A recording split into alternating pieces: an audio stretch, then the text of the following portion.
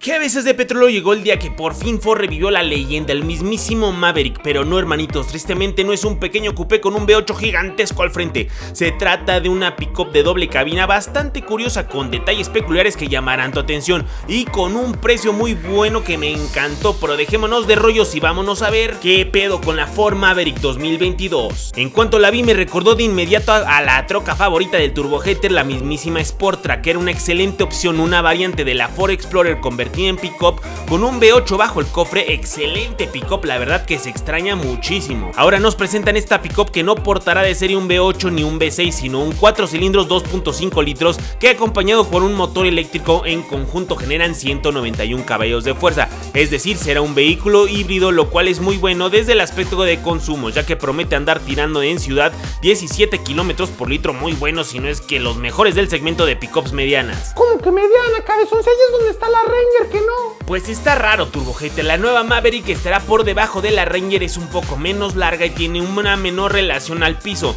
pero no es tan pequeña como una Renault Duster o la Ram 700, digamos que se coloca entre las pick-up medianas y las pequeñas, o sea es una pick-up de la división del peso welter, pero lo que sí tengo que admitir es que para nada está enfocada para trabajo. A diferencia de la Ranger Hilux y NP300, la Maverick cuenta con tracción delantera, aunque más adelante habrá una variante con tracción integral y un motor turbo cargado de 4 cilindros cilindros de 250 caballos de fuerza. La capacidad de carga de esta versión híbrida es poquito más de 700 kilogramos y de arrastre una tonelada aproximadamente. Con esto ya nos damos cuenta que es una pick-up de ciudad y que realmente no es una herramienta de trabajo. Disculpa, una duda, cabezón. luôn. ¿Cuándo te vas a dejar de mamá si vas a grabar el video de la Nissan D21? Ya viene en camino ese épico video Turbo Hater, tú tranquilo, pero sigamos con la Maverick que me falta contarles lo más sabroso de esto, que la verdad tengo que admitir que fue lo que más me gustó y eso es su precio. Su precio de salida será bajito de los 20 mil dólares por la variante más básica, que son más o menos unos 400 mil pesos mexicanos,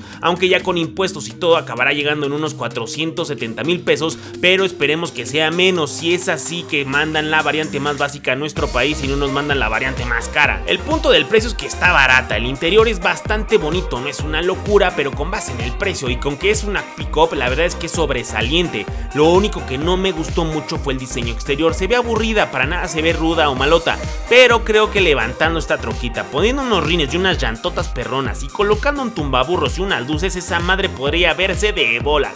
Sería un muy buen proyecto y por fin a un precio accesible, así que abusados una vez que llegue a nuestro país ya no parece nada mala idea esta nueva Maverick. Ya acabó el video, cabezones, háganlo de siempre de darle like y compartir para llegar más lejos y así Ford nos preste una Maverick y la llevemos al cerro a ver si rifa o no rifa. No dejen de seguir cabezas de petróleo en todas partes y hasta la próxima.